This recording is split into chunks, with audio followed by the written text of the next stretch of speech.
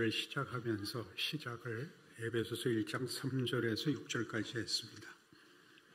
아, 거기에는 이제 하나님께서 인류에 대하여 어떤 의지와 계획과 뜻을 갖고 있느냐가 중요한 음, 그 핵심이라고 말씀드렸습니다. 아, 가장 중요하게 표현된 단어들이 찬송하리로다 하나님 곧 우리 주 예수 그리스도의 아버지께서 하늘에 속한 모든 신령한 복을 우리에게 주시되 곧 창세전에 그리스도 예수 안에서 우리를 택하사 거룩하고 흠이 없게 하려 하시며 그 사랑하시는 자 안에서 우리를 자녀로 삼으시고 그 예수 그리스도 안에서 우리에게 거저 주시는 바 그의 은혜의 영광을 찬송하게 하려 함이라. 이 모든 단어들은 영광, 승리, 감사 이런 게 문제가 아니라 이게 하나님이 인류에 대해서 가지는 의지라고 말씀드렸습니다. 꼭 기억해 주십시오. 한국교회의 가장 아, 기독교 신앙과 아, 합쳐지기 어려운 부분이 윤리입니다. 아, 윤리와 도덕은 다 지키는 자의 책임인데 기독교는 하나님이 다 책임진다 그러는 게 기독교입니다. 이런 때 아멘 안 하면 언제 할 작정입니까? 여러분이 못하는 이유는 그렇게 쉽지는 않아서 그렇습니다. 마음속에 있죠. 하나님이 다 하신다면 우리가 열심을 낼 필요가 뭐가 있는가? 여기가 아주 중요한 대목입니다. 여러분에게 은혜를 베풀고 자유를 주고 복을 주고 내 의지와 능력을 다 동원하겠다. 그랬더니 우리가 내놓는 반응이 그럼 개판을 쳐도 된다 말입니까? 이렇게밖에 대꾸할 게 없는 게 죄지은 인간들의 현실인 것입니다. 그러니 여러분이 그토록 어, 죄안 짓고 신앙생활을 하고 싶은데 안 되는 것이 뭐냐? 그러면 바로 이런 어, 신앙적, 도덕적 차원에서의 거룩함을 지키고 싶은데 왜 안 되느냐 하는 문제가 우리에게 최고의 문제인 것이죠. 이런 집회를 하고 또 개인적인 아, 작심을 하고 어, 기도를 하고 할 때는 분명히 할 것 같은데 현실이 그리고 내 실력이 되지 않는 건 뭔가 하는 것입니다.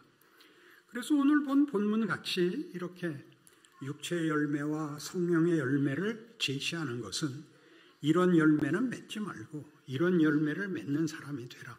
이렇게 간단한 문제가 아니고 내가 누군가라는 나의 존재론, 나의 정체성이 내 행동으로 나온다 그러는 것입니다. 내가 가진 각오와 진심이 내가 아니라 내가 하는 짓이 내 실력이다. 그걸 알아라. 그런 얘기입니다.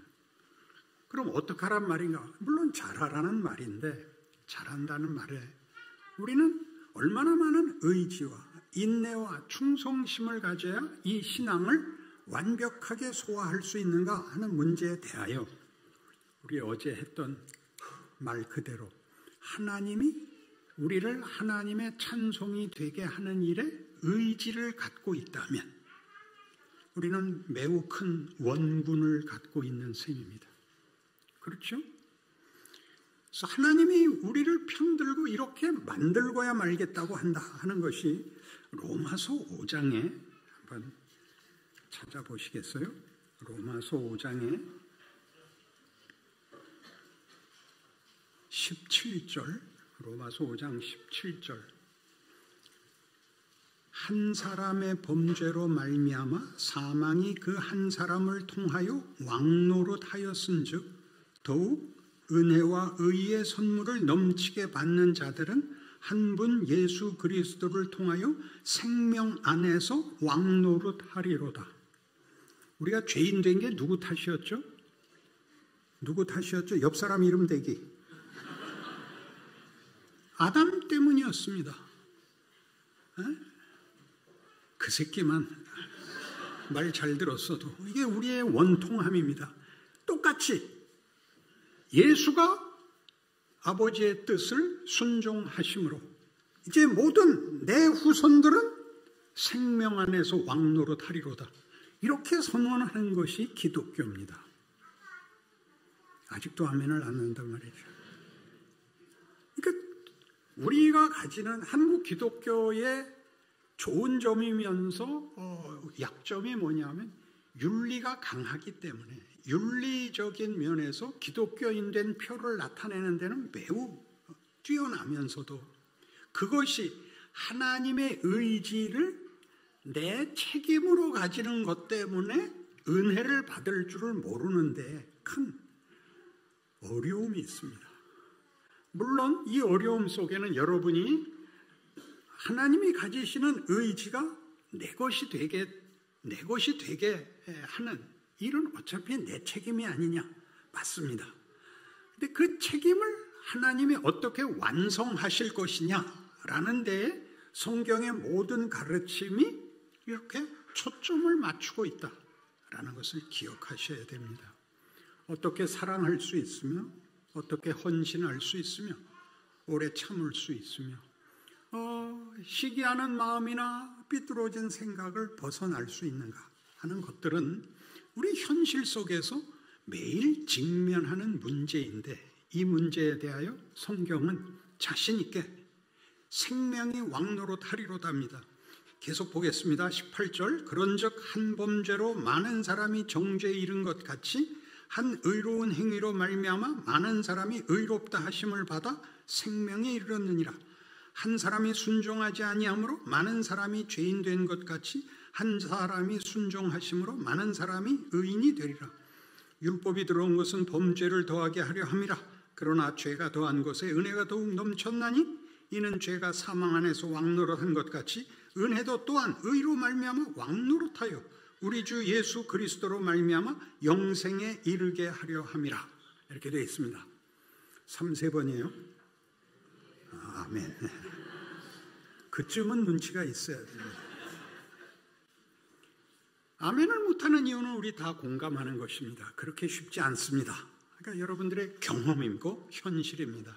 근데 성경이 이렇게 주장을 하고 이 약속을 하고 있는 것을 어떻게 지켜내느냐 하는 문제에 우리가 오늘 그 내용을 함께 나누겠습니다.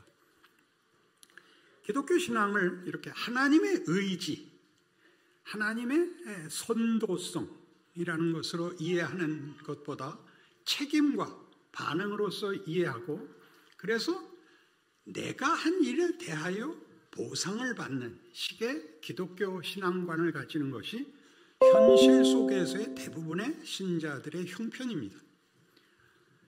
나의 반응에 의해서, 그러니까 구원마저도 반응에 의해서, 복도 반응에 의해서 라고 생각하는 것을 강하게 그 찢고 들어오는 성경이 욥기입니다. 욥기는 대부분 다 잘 이해 못하는 어, 성경 중에 하나인데 우리의 현실을 이해하기 위해서 잠깐 설명을 하겠습니다. 욥은 제1장에 아주 중요한 선언이 떨어지는데 욥은 읽을 때 꼭 기억하셔야 됩니다. 욥은 의인입니다. 욥은 죄인이 아니고 완벽한 의인입니다. 사탄이 하나님께 찾아오자 하나님이 사탄을 꾸짖느라고 야 너는 매일 그렇게 쓸데없는 짓을 하고 돌아다니냐 욥을 좀 봐라 그랬더니 아이고 하나님 잘해 주시니까 잘하죠 그러면 한번 복을 다 제거해 보세요. 그래도 잘하나. 정말 우리 내게 할까? 해서 하나님하고 사탄하고 말장난하다가 욥이 몽땅 뒤집어 쓰고 하루 아침에 강도들이 올라와서 자녀들 다 죽이고 재산 다 뺏어가고 홀딱 알거지가 돼서 앉게 됐습니다. 왜 일이 이렇게 됐는지 알지 못하지만 욥은 불평하지 않고 침묵을 지키고 있습니다. 사탄이 다시 등장했죠. 하나님이 뭐라고 놀리시죠? 봐라, 네가 괜히 날 들쑤셔갖고 저렇게 만들었는데도 입 다물고 믿음 지키는 거 보지 않느냐? 그러니까 하나님 몸을 직접 치셔야죠. 소유물을 친 것 같고요. 누가 항복을 하고 자빠지겠습니까? 몸을 치십시오. 그래? 너 생명만은 건들지 못한다. 쳐라. 그래서 정수리부터 발끝까지 온 몸에 병이 납니다.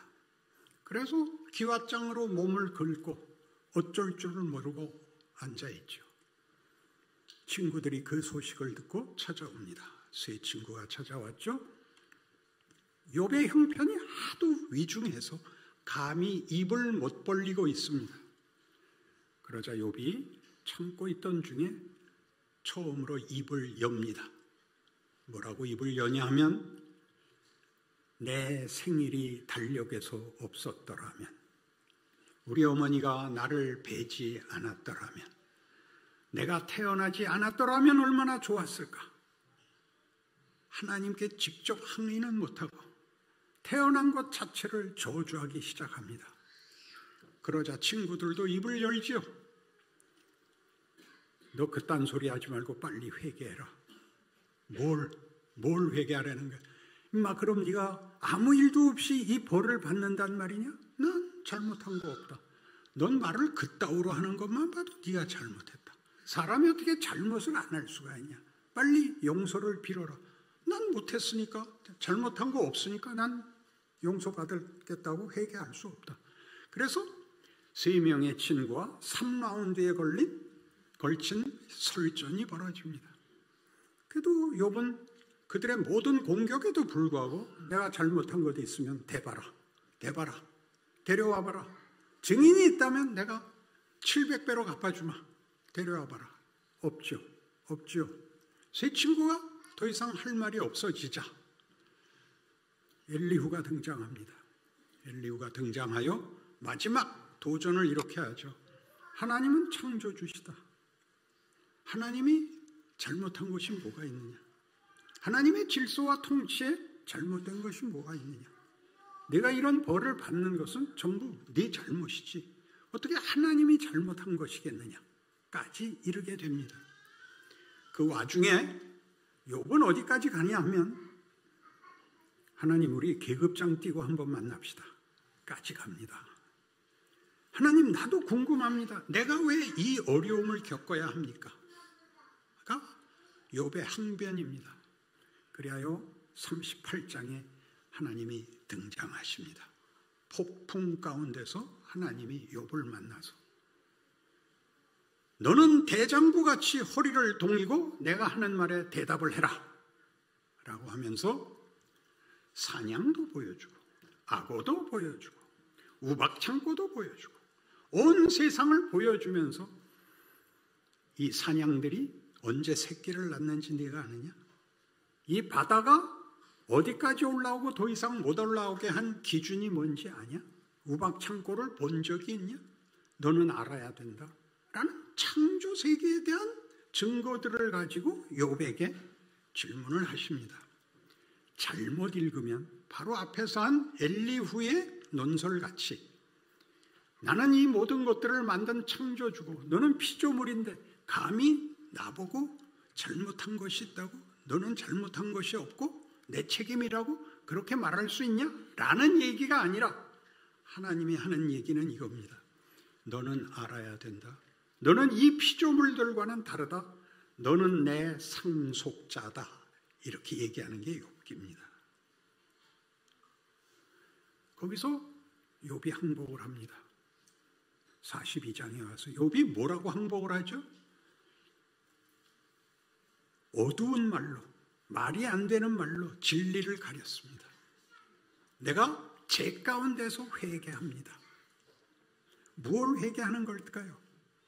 하나님이 하시는 일은 무에서 창조를 하실 수 있고 나중에 또 나옵니다마는 죽음에서 부활도 만드실 수 있는 분이 하나님이십니다. 하나님이 만드신 모든 것의 결과물과 그 내용은 다 아름답고 놀랍습니다. 하나님이 요백에 들이댄 모든 창조물들을 가지고 한 질문들은 이것입니다. 넌 무엇, 무엇을 근거로 하여? 무슨 근거로? 난 내가 잘못했지 네가 잘못이 없다. 라고 항변하느냐? 거기에 욥이 이렇게 대답한 것입니다. 기억해 두셔야 됩니다. 난 잘못한 게 없잖아요. 그게 욥이 하나님께 대든 이유입니다. 난 잘못한 게 없잖아요. 하나님이 그럼 잘못했단 말입니까? 내가 너한테 하려는 것은 창조에서와 똑같이 없는 데서 작품을 만들듯이 너를 작품을 만들려고 해서 생기는 일이란다. 이렇게 되는 겁니다. 못 알아들어도 알아들을 것 같은 표정을 한 번만 지어보십시오. 하나님이 우리를 뭘 만들려고 하느냐라는 문제를 놓치고 잘한 것과 못한 것의 기준 선상에서만 신앙생활이 평가되기 때문에 우리는 도무지 잘하는 것 같지가 않고 될 것 같지가 않은 것입니다. 그러나 성경이 하는 얘기는 이런 시간들을 거쳐서 하나님이 우리에게 만들려고 하는 것이 기어코 만들어져야만 데려가시겠답니다. 그러니까 그전에는 죽지도 못하는 겁니다. 오래 살려고 그래서 말 안 듣겠다. 그렇게는 안 하겠죠.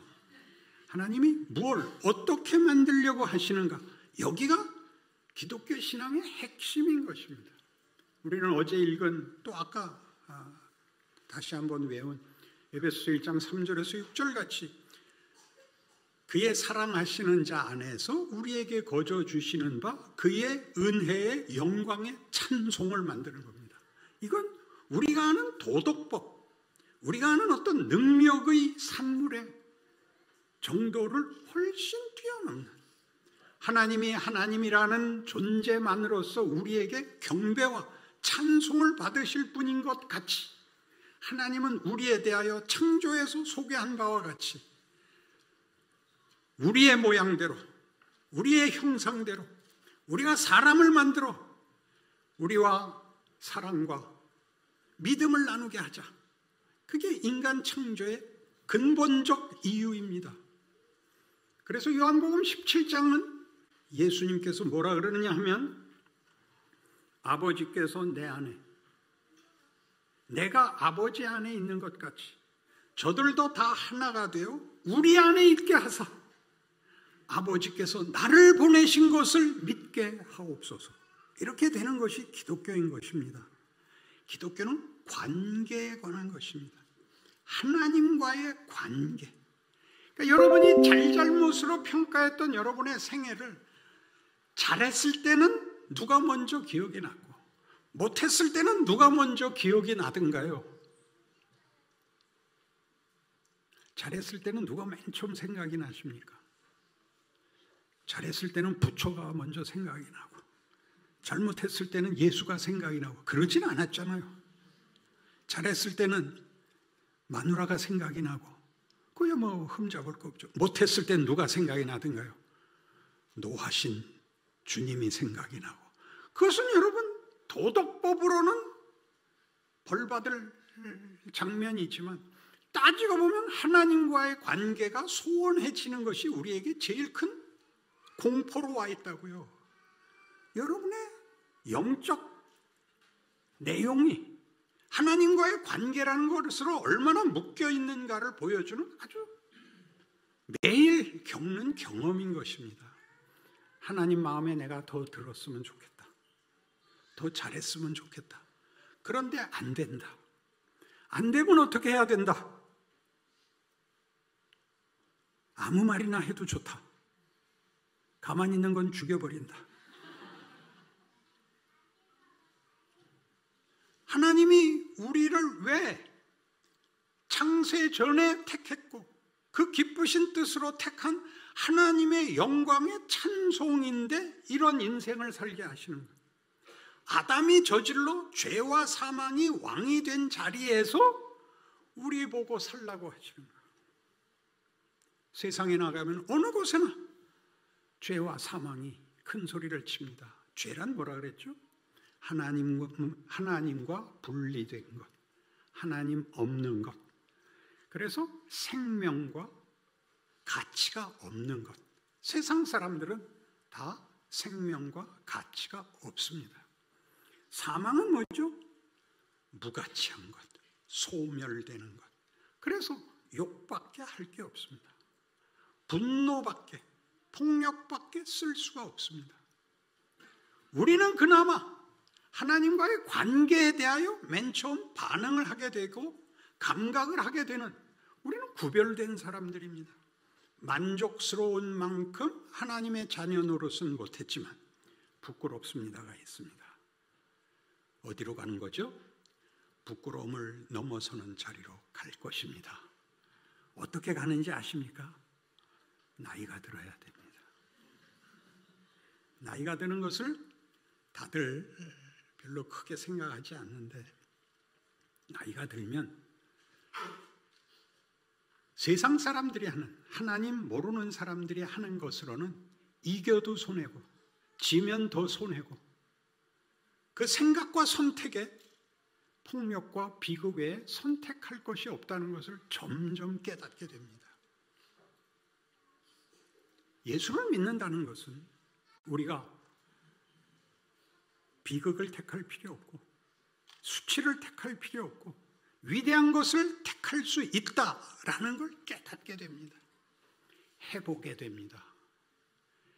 한 인간의 인간성을 좌우하는 것이 뭐냐? 그럴 때 아량입니다. 아량. 아량 혹은 관용. 용서하는 것이죠. 상대방의 못난 것을 용서하는 것. 세상에서는 용서 안 합니다. 조금 그 잘못이 작을 때는 모아뒀다가 적금 타듯이 나중에 내가 그동안 할 말 참고 있었는데 넌 죽어 마땅해. 이게 세상은 할 수 있는 게 죽고 죽이는 것밖에 없고 우리는 그나마 한 번씩 잘할 수 있습니다. 하루에 한 번씩, 두 번씩 해보시겠습니까? 왜 이런 인생을 살게 하는가? 죄와 사망이 왕노릇 하는 곳에 의와 생명이 왕노릇 하는 자로 내가 내가 여기 서 있는 것입니다. 왜 하나님이 이 둘을 맞붙게 하느냐? 배우라는 것입니다. 키우는 것입니다. 철이 들게 하는 것이지요.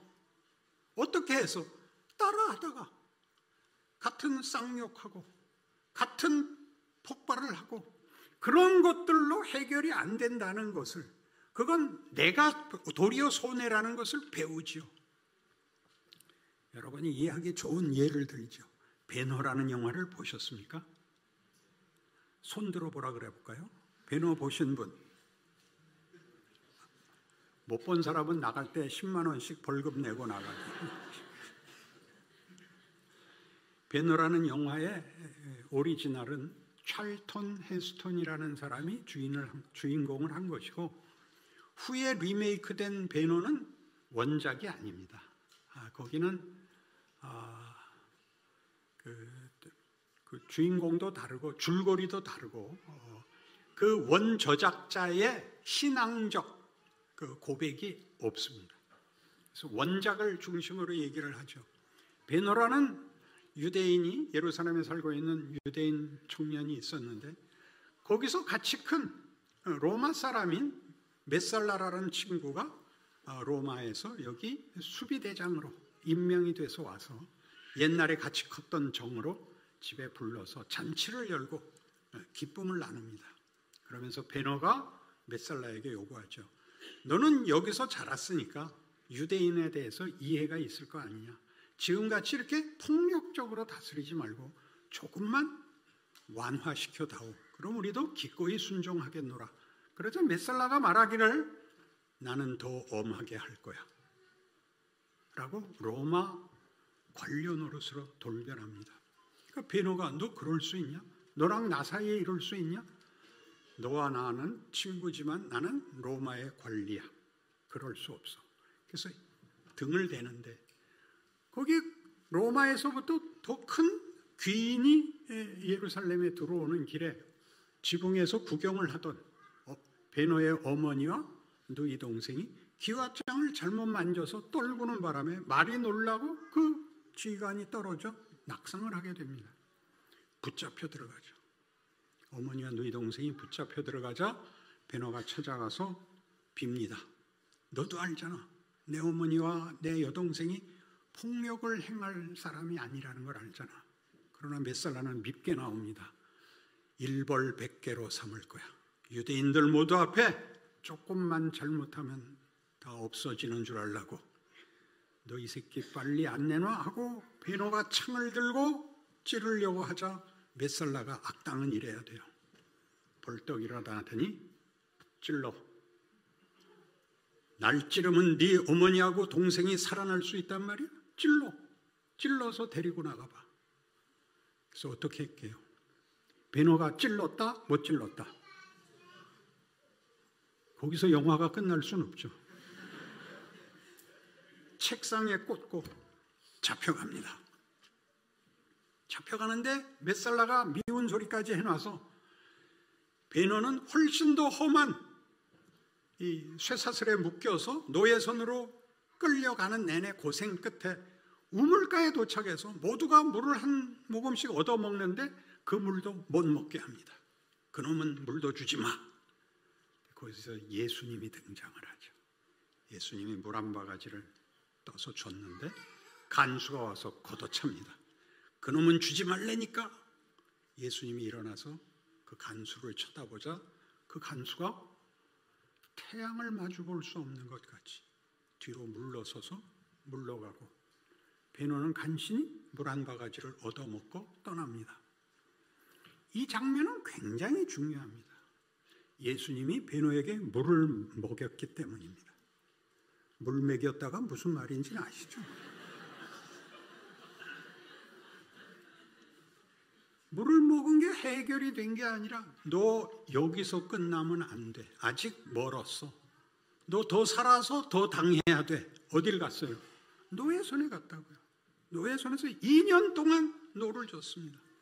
새로 사령관이 오고 해전에서 이 배가 침몰했는데 사령관을 구해서 말하자면 해방이 돼가지고 자유의 몸이 되어가지고 로마 황제 앞까지 가고 그 사령관의 양아들이 되고 그리고 돌아와 메살라 앞에 섭니다. 전차 경주에서 이기고 메살라가 목숨이 경각에 달리는 중상을 입죠. 지금 다리를 잘라야 살아납니다. 수술합시다. 안 돼. 그가 올 거야. 나는 다리를 자르고 그놈을 볼 수는 없어. 기다려봐. 봐, 왔지. 베노가 찾아옵니다. 메셀라가 그 온몸이 부서진 거기서 뭐라고 악을 쓰냐 하면 승부는 아직 끝나지 않았어. 너 저 동구박 굴에 가봐. 네 어머니와 네 여동생이 있을 거야. 으하하하 그러고 뒤집니다. 거기가 나환자들의 동굴이거든요. 베노가 찾아가죠. 정말 어머니와 여동생이 있습니다. 보복을 했는데 답이 없습니다. 매일 미치겠는 겁니다. 어떻게 할 도리가 없습니다. 부인이 묻습니다. 여보, 복수를 했잖아. 몇 살 나 죽었잖아. 근데 왜 당신 마음을 못 풀어? 난 안 돼. 난 이렇게는 풀 수가 없어. 그러니까 부인이 뭐라고 얘기를 하냐 하면 이게 지금 영화 감상평 하는 거예요? 설교를 하는 거예요? 당신이 몇 살 나 같아요? 몇 살 나는 정말 악당이었고 베노는 정당한 사람이었는데 그 영화는 그렇게 그를 지적합니다. 당신이 몇 살 나 같아? 그래서 다음날 이대로 동굴에 내버려 둘 수는 없어요. 그래서 어머니와 여동생을 데리고 예루살렘 성전을 마을로 들어오는데 예수님이 십자가를 메고 가는 걸 보게 되고 다 놔두고 따라갑니다. 그리고 예수님 십자가에 돌아가시고 돌아온 벤, 벤호가 이렇게 말하죠. 그 말씀이 내 가슴에 있던 칼을 놓게 했어. 아버지여 저들을 사하소서. 저들이 자기가 하는 일을 알지 못하나이다. 그리고 짜자잔 그러고 끝나는 겁니다. 메살라가 없으면 여기까지 가질 못하는 겁니다. 그럼 그냥 행복하게 살았더래요. 도토리 키재기로 끝나는 인생을 하나님이 여기까지 끌고 가는 겁니다. 분노를 넘어서는, 폭력을 넘어서는, 자폭을 넘어서는 가장 큰 위대한 자리에까지 우리를 끌어올리기 위해서는 우리가 싫어하는, 아니, 우리가 좋아하는 어떤 안전장치까지 깨고 우리를 꺼낸다. 그러는 게 성경이 하는 말입니다. 하나님이 자신을 증명하는 일에 있어서도 하나님은 히브리서 5장 8절 같이 그가 아들이시라도 받으신 고난으로 순종함을 배워서 온전하게 되셨다. 라고 얘기하는 것은 무시무시한 말씀입니다. 하나님은 모든 존재의 주인이시고 그는 누구에게 무슨 위협을 받거나 강요를 받거나 유혹을 받거나 어떻게 양보를 해야 될 필요가 없는 분이 자기 아들을 여기서 자기 아들이라는 것은 본인이 오는 것보다 더 큰 것을 말하는 겁니다. 여러분 모두 아시다시피 자식을 위해서 부모가 죽지 부모를 위해서 자식을 잡는 자는 없습니다. 하나님이 자기 아들을 어디까지 보냅니까?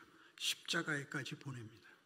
그리하여 온전하게 됐다는 것은 하나님이 그 무슨 결격 사유가 있었던 걸 채웠다가 아니라 하나님은 우리가 아는 개념의 권세와 지위와 능력으로서 우월함으로 하나님이 자신을 자랑하지 않으시고 우리를 불러내실 때 만들었을 때 그 작정대로 우리의 형상, 우리의 모습, 아들이 아버지 안에 내가 내 안에 아버지가 있는 것 같이 저들도 다 하나가 되어 우리 안에 있게 하시려고 나를 보내신 것. 그래서 우리가 간 자리, 사망의 자리를 들어오시는 겁니다.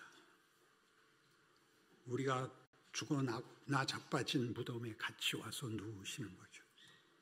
그래서 예수의 오심이 죄인들을 위해서 오고 사망, 사자들을 위해서 오시고 그들을 붙잡아 그의 부활이 우리 모두를 아버지의 영광으로 일으키시는 것 같은 생애를 살게 하고 있다. 라고 증명하시는 겁니다. 하나님이 하나님 노릇을 어떻게 하는가? 왜 그렇게 하는가? 우리로 하나님과 사랑과 믿음을 나눌 수 있는 자로 만들겠다. 어떻게 만들어야 되느냐? 차근차근 만들어야 됩니다. 에베소서 4장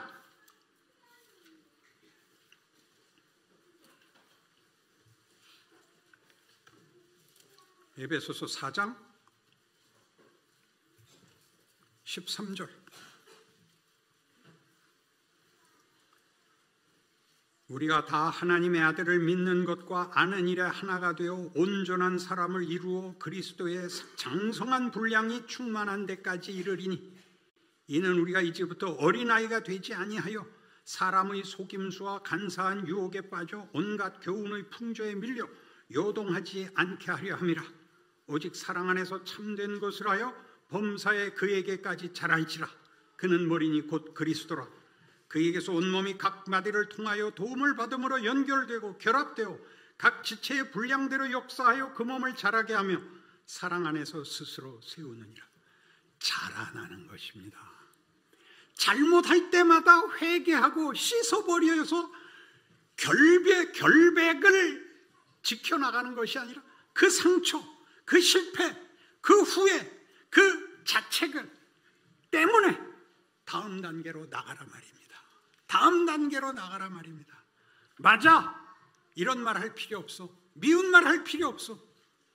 좋은 말 하시고, 멋있게 구시고, 그리스도께서 십자가에서 저들을 사하소서의 자리까지 가라. 단번에 못 갑니다. 새총 열 번 쏴서 새 맞추는 사람 봤습니까? 새가 없어서 쏴본 적이 없다. 우리 우리나라가 그 특기로 갖고 있는 스포츠 종목 중에 가장 센 게 여자 양궁입니다. 그들은요 활 시위를 하도 땡겨서 여기에 줄이 나 있습니다. 아시죠? 아랫입술에서 턱까지 활 시위 줄 자국이 지워지질 않고 있습니다. 그렇게 해서 밤낮 10점 맞지 않습니다. 여러분, 만들어져 가고 있습니다. 여러분들이 후회하는 모든 일들이 여러분에게 유리하게 작용할 것이다 라고 얘기하는 것이 하나님을 사랑하는 자, 곧 그 뜻대로 부르심을 입은 자들에게는 그 다음 뭐예요? 해보세요. 모든 것이 합력하여 선을 이루느니라. 은혜가 왕노릇 하겠다. 은혜가 왕노릇 하겠다. 아브라함이 믿은 하나님은 어떤 하나님이었냐? 창조와 부활의 하나님이었다. 창조란 없는 데서 만드는 것이요. 부활이란 망한 것을 영광으로 뒤집는 기적입니다. 신자된 가장 큰 가장 큰 힘이 뭐냐?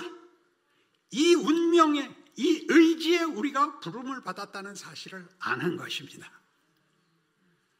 여러분이 여러분이 기대하는 식으로 잘하는 것이 아니라 뜻밖의 일들이 뜻밖의 곳에서 뜻밖의 모양으로 만들어냅니다. 멋있어집니다.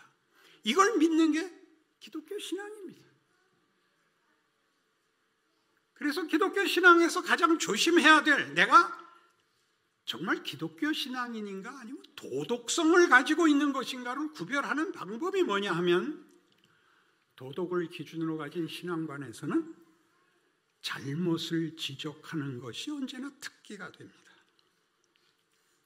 잘못을 지적하는 것, 정죄하는 것. 고신이 제일 잘하는 거가 뭔지 아세요? 니들은 다 신사 참배했어. 그거 하지 말고 고신은 높을 꽃자잖아요. 성질을 다른 데다 봅시다. 뭐가 낫냐 말이야. 뭐가 낫냐 말이야. 인간됨이 뭐가 낫냐 말이야. 표정이 뭐가 낫냐 말이야. 반말은 어디서부터 시작한 거예요, 지금? 내가 예수 믿으면서 가장 화딱지난 깨우침이 여기였어요. 우리는 좋은 말을 하지 않는구나. 넌 지옥 가. 그 얘기는 안 하는 거예요. 갈 거잖아.